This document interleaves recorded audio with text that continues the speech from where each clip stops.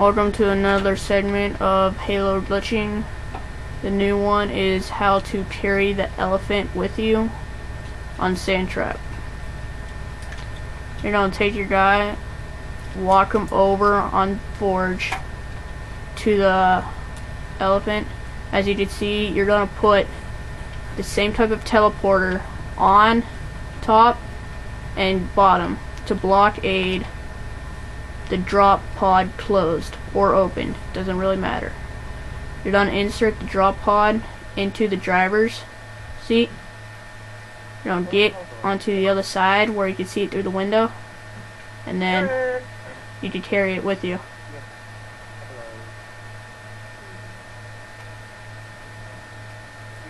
You can only get so far away from the elephant until the drop pod gets out.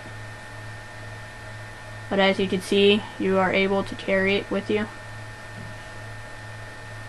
See how it came out? Another glitch to do is, well, this one landed upside down, so that works. If you are wanting to see the hold RB to flip, wait, what? How did you do that? Which you can see right there.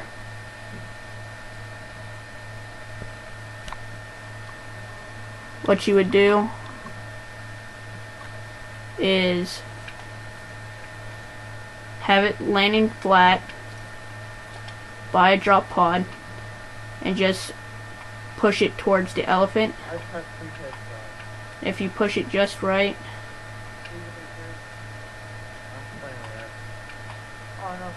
somehow it'll flip.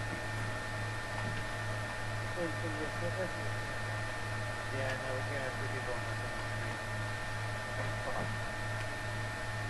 Elvin! Round four. Right there.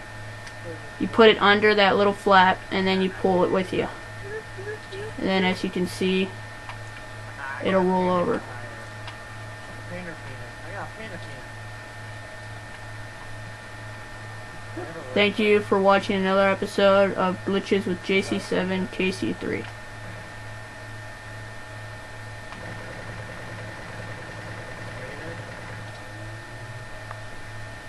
not negative 1.